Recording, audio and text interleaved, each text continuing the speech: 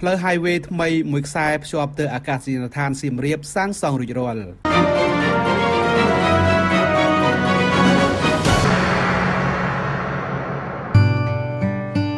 លោកស៊ីនច័ន្ទសេរីវុធាអនុរដ្ឋលេខាធិការនិងជាអ្នកនាំពាក្យអាកាសចរស៊ីវិលកម្ពុជាបានឲ្យដឹងកាលពីពេលថ្មីថ្មីនេះថា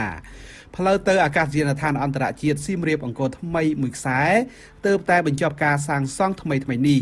ដើម្បីសម្រួលដល់ការធ្វើចរាចរណ៍តភ្ជាប់ចេញចូលទៅប្រលានយន្តហោះថ្មីលោកស៊ីនច័ន្ទសេរីវុធាបានបញ្ជាក់ថា ផ្លូវថ្មីដែលទៅសាងសង់រួចរាល់នោះហៅថា Special Airport Highway ដែលជាប្រភេទផ្លូវបេតុងកស៊ូមិនមែនជាប្រភេទផ្លូវល្បឿនលឿននោះទេតែជាប្រភេទផ្លូវកាត់ដែលតភ្ជាប់ពីផ្លូវជាតិលេខ6ទៅដល់ Airport មានប្រវែង24.5គីឡូម៉ែត្រក្រៅពីផ្លូវថ្មីដែលស្ថាបនារួចរាល់ក្នុងគម្រោងមិនទាន់មានការសាងសង់ផ្លូវថ្មីបន្ថែមទៀតនោះទេដោយប្រើប្រាស់ផ្លូវចាស់ដែលមានស្រាប់ដដែលនេះបើតាមការអះអាងរបស់មន្ត្រីអាកាសចរស៊ីវិលរូបនេះ តាក់ទិននឹងការអភិវឌ្ឍអាកាសយានដ្ឋានថ្មីខេត្តសៀមរាបអ្នកនាំពាក្យរូបនេះថានឹងផ្ដល់ផលប្រយោជន៍យ៉ាងច្រើនទី1ប្រលានយន្តហោះថ្មីនេះស្ថិតនៅតំបន់មួយដែលមិនមានផលប៉ះពាល់ផ្នែកបរិស្ថាន សង្គមនិងវប្បធម៌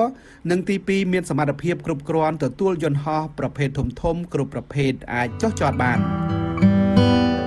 បើតាមមន្ត្រីអ្នកនាំពាក្យរូបនេះសម្រាប់គម្រោងអភិវឌ្ឍបន្ថែមទៀតនៅក្នុងប្រលានយន្តហោះថ្មីនេះលោកមិនអាចកំណត់បាននោះទេគឺអាស្រ័យស្ថានភាពជាក់ស្ដែងនៃកំណើនភ្ញៀវទេសចរលោកបន្តថាបច្ចុប្បន្ននេះចំនួនភ្ញៀវទេសចរមានការធ្លាក់ចុះបន្ទាប់ពីបញ្ហា COVID-19 ដោយក្នុងមួយសប្តាហ៍មានជើងហោះហើរតែ8ជើងតែប៉ុណ្ណោះ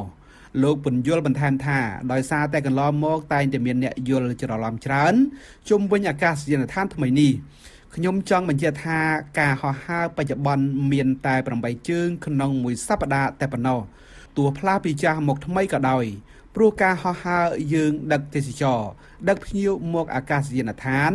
មិនមែនបើកឲ្យដំណើរការភ្លាមមានយន្តហោះហោះជួលច្រើនភ្លាមនោះទេវាមិនបែបហ្នឹងនោះទេ យ៉ាងណាមិញអ្នកនាំពាក្យអាកាសចរស៊ីវិលរូបនេះរំពឹងថានៅឆ្នាំ2024ឬដើមឆ្នាំ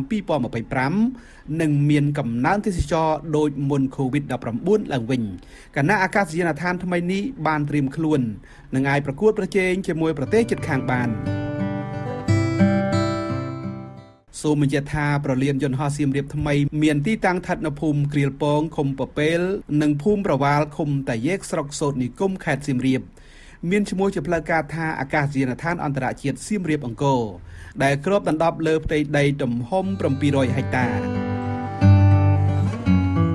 អាកាសយានដ្ឋានថ្មីនេះស្ថិតនៅលំដាប់ 4E មានផ្លូវរត់ប្រវែង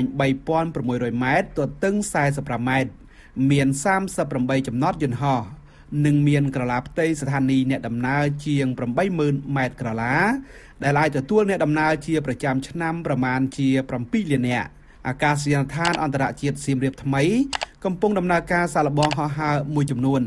មុនបើកដំណើរការជាផ្លូវការនៅអំឡុងពាក់កណ្ដាលខែតុលាឆ្នាំ2023ខាងមុខនេះ។